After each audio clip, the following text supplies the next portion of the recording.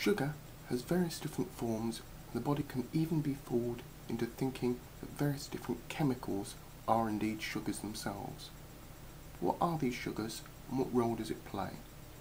The most common form of sugar is sucrose, the kind that you spoon into your tea or coffee. Inside the human body it separates into fructose and glucose.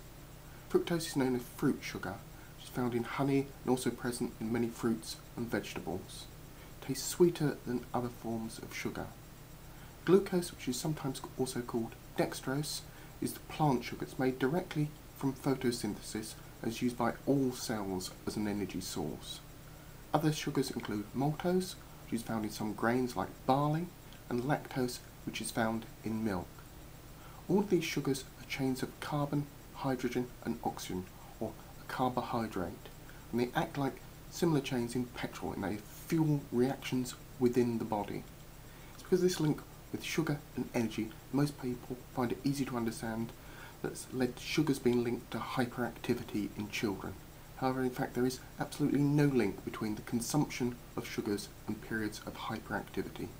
Instead, there are two explanations for this perceived link.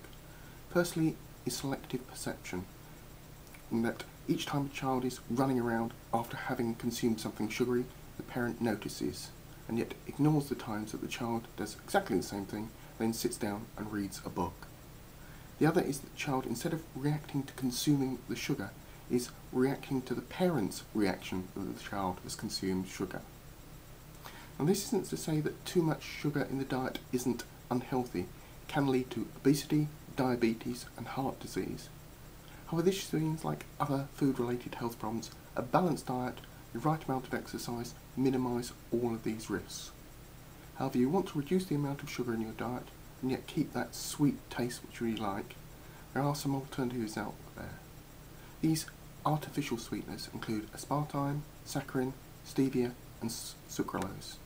These have been many scares about these substitutes and others. However, most of these have proved totally groundless, and warning notices or even outright bans on these substances mostly being removed. Some of these are probably down to competition worries rather than any genuine health concerns, and whilst consuming very large portions of these substitutes may actually con constitute a risk, it would be less of a risk than consuming the same amount of sugar to attain a similar amount of sweetness.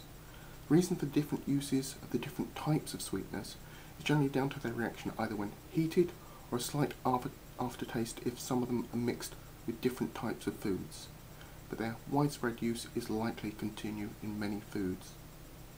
Currently, with the recent drop in oil prices, there has actually been a reduction in the amount of sugar being converted into ethanol as a fuel, meaning there is now a surplus of cheap sugar out in the world.